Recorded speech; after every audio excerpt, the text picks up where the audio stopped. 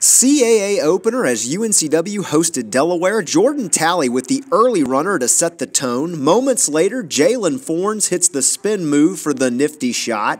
Later, Talley feeds Marcus Bryan for the jumper, but UNCW trailed by five at the halftime break. Second half, Devontae Cacok with the fadeaway shot while being fouled. He had 19 rebounds in the game. Later, Talley with the circus shot attempt, but it all came down to this. With 2.2 seconds left, the Seahawks had one final look at the basket, but Jaylen Fornes' attempt was off the mark in the narrow loss. We got open looks, and uh, we got it to the rim, and uh, it just didn't bounce our way. It didn't bounce in the basket, and they made some tough shots. I liked our defensive intensity.